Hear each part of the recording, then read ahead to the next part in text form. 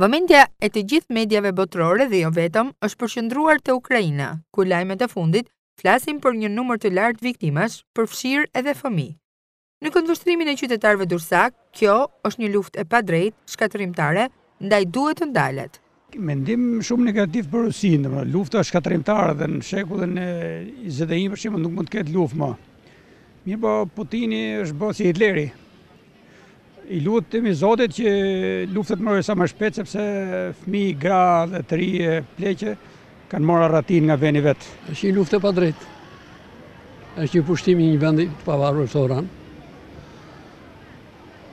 Cënohen të gjitha të drejtat ndërkombëtare dhe populli ukrainas po e vuan këtë.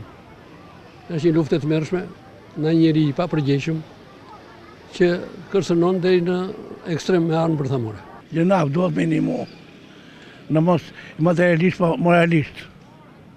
Që në që asë e ima të ebër. Po ç'mendim kemi ne të shky? Që do marrë përmasa të tjera, thot. Pra do përkeqësohet, do përshkallëzohet. Po, nuk bëhet fjalë që do përkeqësohet. As bëhet fjalë, ai sot thoshte që do përdorë edhe atë armë bërthamore. Ajo do t'i do t'i kap Kosovën, kap Shqipërinë. Nuk jemi dakord me, me luftë asnjëherë, jo sot po kurrë. Kurrë asnjëherë, në botë, nuk, nuk jemi ne dakord. Është halë vetë, unë vetë e Ukrajinja, Rusi ka kapim. Se i bje këtë. Një luftë që po jep pasoja në të gjithë globin, ku nuk përjashtohet as vendi ynë. Sipas qytetarëve të pyetur, rritja e çmimeve është efekt i këtij konflikti, i cili mund edhe të përshkallëzohet. Po, normalisht që ndikon, sepse sanksionet bëjnë punën e vet.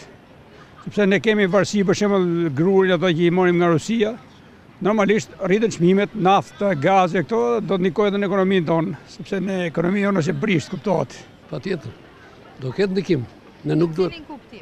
Në kuptimin që ne jemi në atë gjeografinë e Ballkanit Perëndimor, ku jemi drejtpërdrejt të kërcënuar. Pavarësisht se jemi në mbrojtjen e Shteteve të Bashkuara të Amerikës, Shqipëria kërcënohet, sepse ka lidhje edhe me Kosovën, edhe rreziku është eminent.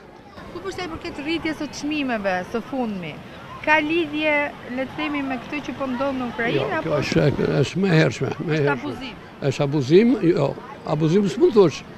Duhet të shikohen një për një çdo artikull se kush ka të drejtë të ngrejë çmimet bizneset dhe kush nuk ka të drejtë. Kjo duhet një kontroll i rreptë nga qeveria, që duhet ta mbajnë mbikëqyrje siç e mbajnë dhe vendet e tjera. Po, ka ndikuar përpara, dhe që në qasë e unë si pensionist, do hajë tre herë, të që do hajë një herë, dhe që. Po, si s'ka ndikim, shumë fare, shumë fare, direkt te buka,